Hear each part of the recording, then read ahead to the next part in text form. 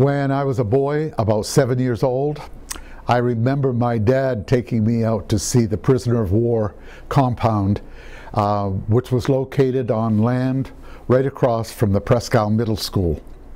And uh, there's a trailer park on that slope now. But um, I, the thing I remember most was my fear. As a little boy, um, you know, I, as we drove by, Dad slowed down, and I could see all the German prisoners uh, milling around in the compound, and it really frightened me. And that's the thing I remember most about that experience. Uh, there were guard towers in each corner of the compound too, and you could see the guards up there with their big uh, machine guns, you know, in case anybody tried to escape. But it was, uh, for a little seven-year-old boy, it was pretty scary, so uh, it's always stayed with me.